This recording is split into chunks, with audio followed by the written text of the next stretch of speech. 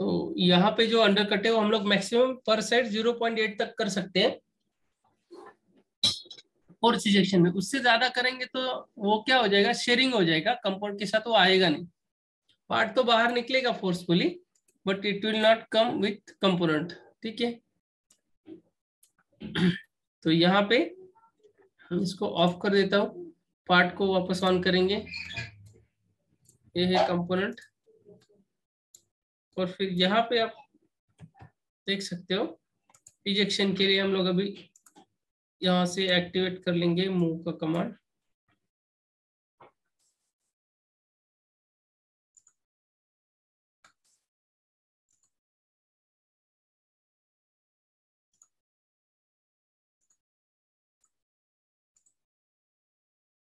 तो देखिए यहाँ पे ये कंपोनेंट पहले ऐसा था अभी हम लोगों ने इसको एग्जीक्यूट कर लिया। लेकिन ये कंपोनेंट बाहर आने के लिए बाहर आने के लिए हम लोग को सपोर्ट लेना है स्टिपर प्लेट का। तो हम लोग इसमें स्टिपर प्लेट भी ऐड कर देते हैं। ठीक है। हाँ। तो इस तरीके से ये प्लेट उसको बाहर लेके आएगा। ठीक है। अभी ये जो कोर इंसर्ट है कोर इंसर्ट से लगभग 5 एम mm डिस्टेंस है। 5 एम mm ज़्यादा हम लोगों ने स्ट्रोक ले लिया, इसके इसके बाद ये कंपाउंड सीधा नीचे फॉल करेगा। कंस्ट्रक्शन इजी है, ऐसे नीचे गिर जाएगा, ठीक है? मोल्डिंग होके नीचे गिर जाएगा।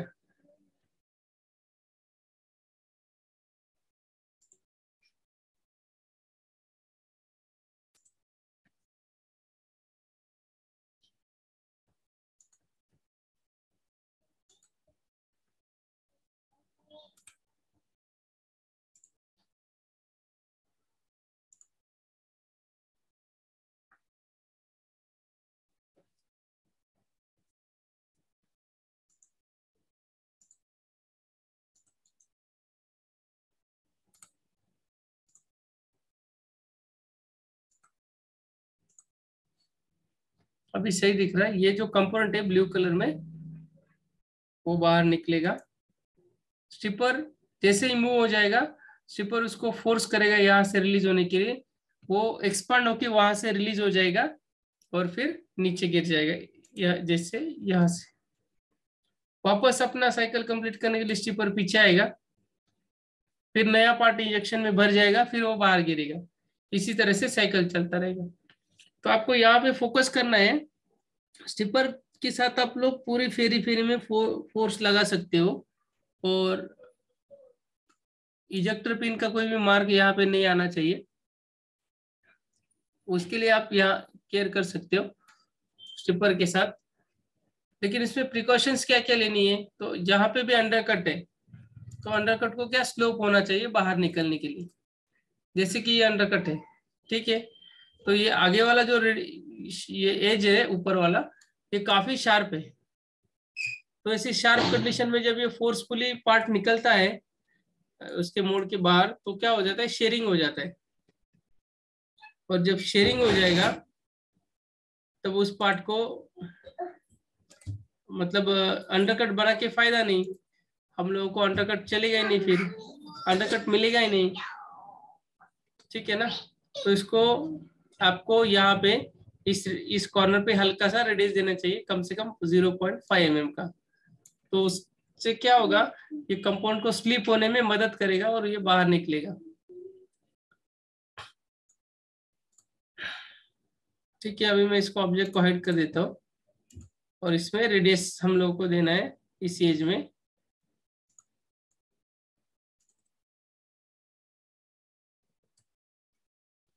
एक रेडियस होना चाहिए।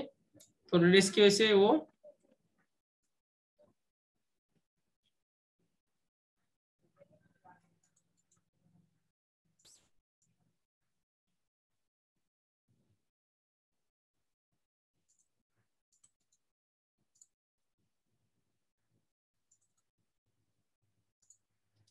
ऐसे यहाँ पे रेडियस चाहिए। रेडियस रहेगा तभी जाके कंपोनेंट बाहर आएगा नहीं तो वहीं पे शेयरिंग हो जाएगा। वो जो रिंग रहेगा अंडरकट वाला वो आपके कंपोनेंट पे आएगा ही नहीं। ठीक है? प्रवीण क्लियर हो गया आपको ये चीज़? रेडियस यस सर ठीक है और ये सर देखिए थोड़ा सा कंपाउंड हम लोगों ने ज़ीरो पॉइंट वन एम इसमें रखा है। कोर में बाकी पूरा का पूरा स्ट्रिपर के ऊपर लिया है। और उसको हम लोग स्ट्रिपर प्लेट को जब पुश करेंगे तब ये कंपोनेंट बाहर आएगा। ठीक है कितना बाहर लेना है? जो भी आपका कोर का कोर इंसर्ट का हाइट रहेगा उससे पाँच एम ज़्यादा। मतलब ऐसा अगर मोल्ड लगा है मोल्डिंग मशीन में तो ये जो इसका हाइट रहेगा इससे फाइव एम ज़्यादा। ठीक है उसके बाद ये नीचे फॉल करेगा। अभी क्लियर करने हैं। अभी ये जो एक मिनट है। अभी ये जो प्लेट आगे आ रहा है बराबर? लेकिन प्लेट जब आगे आता है तो इस प्लेट को आगे कौन लेके आता है? ठीक है? तो इसको आगे लेके आएगा। यहाँ से हम लोगों को रॉड डालनी पड़ेगी। ठीक है? वो रॉड क्या, कैसे बैठेंगे जैसे कि इस प्लेट में हम लोग एक रॉड प्लान करेंगे।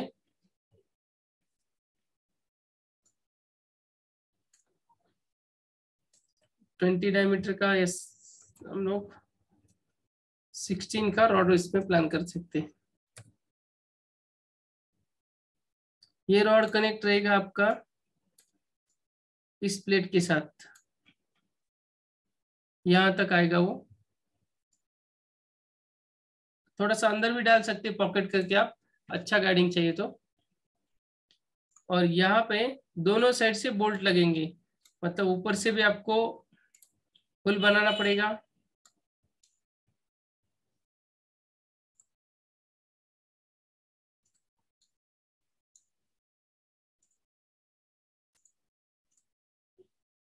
टैपिंग का होल रहेगा वहाँ पे।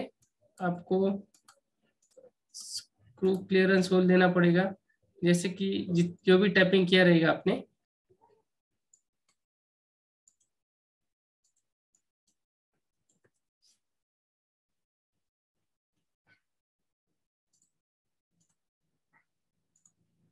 ठीक है, इस तरीके से होल बनेगा।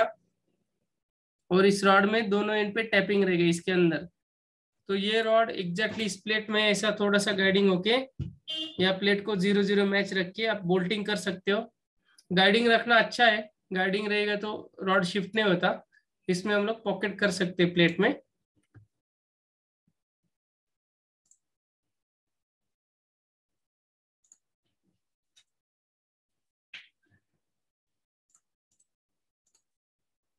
इस तरीके से आपको पॉकेट बनाना है। उसके साथ रॉड को गाइड करना है।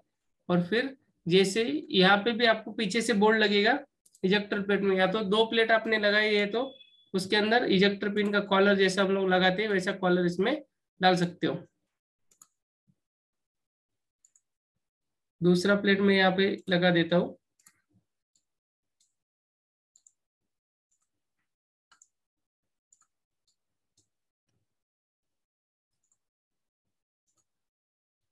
ये आपका पिन का कॉलर रहेगा।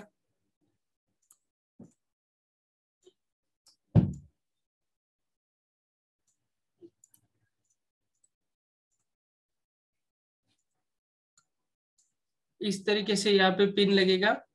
और ये पिन यहाँ पे रिलीज़ होल रहेंगे ये प्लेट में। बड़ा होल रहेगा इस प्लेट में। और यह ये इस तरह से स्टिपर प्लेट को कनेक्ट हुआ रहेगा। ठीक है? ऐसे कम से कम दो और ज़्यादा से ज़्यादा चार रॉड आपको प्लान करने हैं। और चार रॉड के साथ ये प्लेट मूव मूव होगा, आगे फॉरवर्ड करेगा, ठीक है? तो जब ये आगे आएगा, तब ये कुछ इस तरीके से आगे आएगा, ठीक है? और ये पीछे ऐसे जाएगा, ठीक है? क्लियर यस सर और ये जो प्लेट है, ये पीछे कैसे जाएगा? यहाँ से इजेक्टर प्लेट को एक मोल्डिंग मशीन में एक रॉड कनेक्ट किया रहता है, वो उसको पीछे लेके जाता है। एक तो उसको रिट्रैक्शन बोलते हैं, या तो दूसरा आगे से जब कैविटी प्लेट आएगा, इस प्लेट को टच करेगा सामने से तो इसको पीछे लेके जाएगा। या तो हम लोग इसमें मोड में स्प्रिंग प्लान करते हैं ना, यहाँ पे रिटर्न पिन के ऊपर, वो भी उसको पीछे लेके जा सकते हैं। बट इसका वर्किंग इस तरीके से होगा ठीक है? चार पिन लगेंगे। मिनिमम दो पिन लगेंगे बड़े डालिए तो आपने। चार अच्छे रहते हैं हमेशा चार आप डालो। ओके सर ये चीज़ क्लियर हो गया आपको स्टिपर रिजेक्शन का? यस सर अभी ये कौन कौन से टाइप के कंपाउंड मिले हैं देखिए हर वो कंपाउंड जो क्लोज सेल है स्क्वायर भी हो सकता है अब नॉर्मल हो सकता है राउंड शेप हो सकता है। बस आपको क्या प्रिकॉशन लेना है? जब भी आप इसको डिज़ाइन करोगे तो इसका जो जो कॉर्नर रहेगा सॉरी वो थिकनेस रहेगा वो थोड़ा सा थिकनेस छोड़ के बाकी का थिकनेस आपको स्टिपर में लेना है जैसे कि यहाँ पे ब्लू कलर का दिख रहा है। ये क्या सर यही मेरा क्वेश्चन है। हम्म बोलो। सर मैं बोल रहा था कि इसको हमें क्या कहते हैं ये पॉइंट वन छोड़ना क्यों है? पॉइंट वन क्यों छोड़ना है ऐसा? पता चले हाँ। कि यहाँ तक कंपोनेंट मेरा कोर ब्लॉक में करके। छोड़ेगा ही नहीं तो पता कैसे चलेगा कंपाउंड एरिया कौन सा और मोड में गाइडिंग एरिया कौन सा? लेकिन सर ये फिर स्टेप वहाँ पे आएगा ना हमारे कंपोनेंट पे। फिर हमें एक तरीके से क्यों आएगा? अच्छे से अच्छे से मैच करोगे आप तो स्टेप नहीं आएगा। क्यों आएगा स्टेप जो डिज़ाइन में जैसे मैच किया है ना उसी तरह हाँ। से। आपको मैच करना है। यहाँ पे स्टेप नहीं दिख रहा है तो कंपाउंड में भी नहीं दिखेगा ना।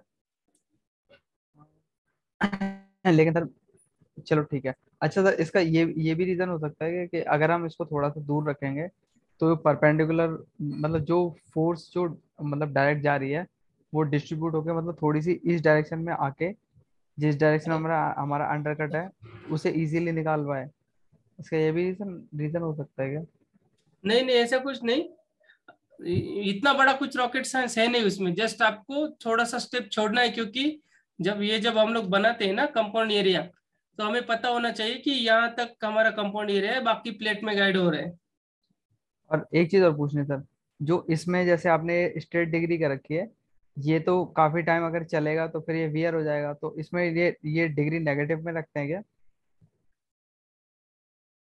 उसमें और एक मैं वो पॉइंट बताने वाला था आगे कंसेप्ट होने के बाद। यहाँ पे ना जैसे कि ये इसमें लगा ये स्ट्रेट है तो आपको कंटिन्यूस मोल्ड चलेगा तो क्या हो जाता है यहाँ पे फ्रिक्शन हो सकता है। आप यहाँ पे अप टू फाइव डिग्री तक प्रोवाइड कर सकते हैं। तीन से पाँच डिग्री यहाँ पे आप अगर ड्राफ्ट दे देते हो ओके यहाँ पे एंगल में तो ये ये जो इंसर्ट है ना ये वेयर आउट नहीं होगा है ना? डिग्री का वही बेनिफिट है। जैसे कि हम लोग वेजिंग में प्रोवाइड करते हैं स्लाइडर में प्रोवाइड करते हैं तो यहाँ से तीन से पाँच डिग्री आप इसमें इस पॉइंट से लेकर दोगे यहाँ तक इसी प्लेट के अंदर खाली उसके बाद जो एरिया रहेगा वापस आपको सीधा लेना है। ठीक है? ओके तो वहाँ पे आप लोगों को इस प्लेट में वेयर एंड टेयर का जो भी प्रॉब्लम है वो नहीं आएगा। स्ट्रिपर प्लेट में। ओके तो इस तरीके से स्टिपर का डिज़ाइन होता है सिंपल है। कंपाउंड का प्रोफ़ाइल रहेगा उसका वैसे उसका प्रोफ़ाइल आ जाएगा। तो लेकिन कोई भी कंपाउंड के लिए बनाओ, उसमें डिग्री देना इंपॉर्टेंट है। मस्त है डिग्री दोगे तभी मोल्ड का लाइफ मिलेगा। दूसरा, उसमें आपको, जैसे कि मैं यहाँ पे डिग्री देके दिखाता हूँ आपको अभी। दूसरा, इसको जो रिटर्न लेने के लिए जो भी चीज़ है, आपके मोल्ड में हो सकता है मोल्डिंग मशीन के ऊपर रिट्रैक्शन रॉड रहेगा। वो आपको इंश्योर करना है कि पीछे आ रहा है बराबर। मतलब उधर वो फैसिलिटी है मशीन के ऊपर। वो आपको इंश्योर करना है।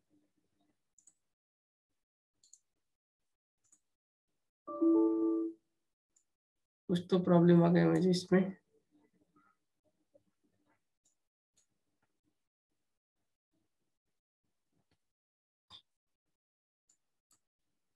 तो इस टाइप का हमारा स्टिपर का काम था। स्टिपर इजेक्शन का।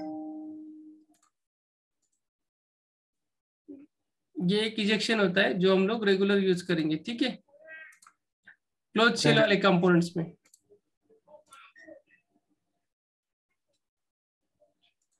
लगता है अभी अंकुश भी इंटरनेट कनेक्ट नहीं कर पा रहे। हाँ सर। हम्म कोई प्रॉब्लम नहीं। ये समझ में आ गया ना प्रवीण आपको?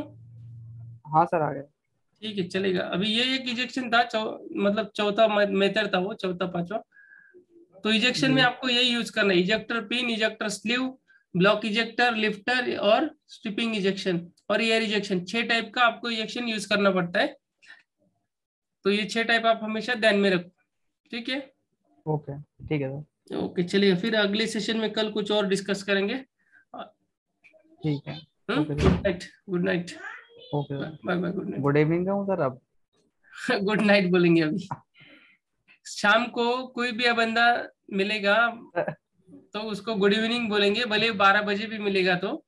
जब उससे हम लोग अलविदा करेंगे उसको तब बोलेंगे बाय बाय सर या मैंने तो जानबूझ के बोला या तो गुड नाइट मैंने मैंने सर जानबूझ के बोला था क्योंकि मैं ज़्यादा लेट था। कोई प्रॉब्लम नहीं कोई प्रॉब्लम नहीं। ठीक है बाय बाय गुड नाइट अभी हाँ।